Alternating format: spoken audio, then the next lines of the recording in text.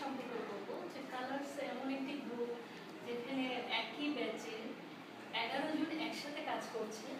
কখনো কখনো আরও বেশি থাকে সদস্য সংখ্যা। তো এবারই প্রথম আমি কালার্সের সাথে ওয়ার্কশপে জয়েন করি গেস্ট আর্টিস্ট হিসেবে।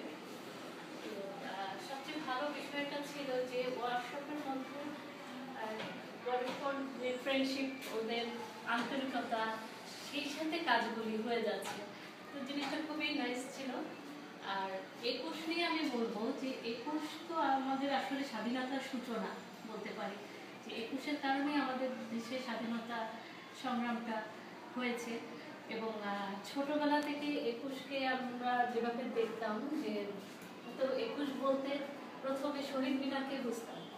আস্তে আস্তে বড় হয়েছি, একুশে শহীদদের আত্মত্যাগের কথা জেনেছি এবং শ্রদ্ধাবোধ বেড়েছে আমাদের আমার কাজটা সেই আহ, ফাল্গুনকে নিয়ে একুশে ফেব্রুয়ারি আটই ফাল্গুনকে নিয়ে আচ্ছা আপনার যে কাজটা আছে এটার মানে কনসেপ্টটা কি? এটা বিমূর্ত একটা কাজ। আমি যে বছরগুলিতে একুশকে দেখেছি ছোটবেলা থেকে বিভিন্ন সময় বিভিন্ন শহীদ মিনার এঁকেছি ফুল দিয়েছি।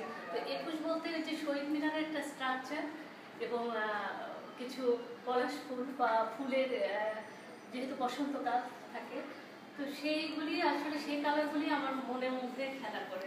তার মানে আপনার স্মৃতি কাজ করেছে হ্যাঁ হ্যাঁ ছোট থেকে। সেই হুম। সেই স্মৃতিগুলারই একটা সামারি এখানে সংক্ষিপ্ত রূপ এখানে ফুটে উঠেছে ভাব বিমূর্তভাবে। আচ্ছা আচ্ছা।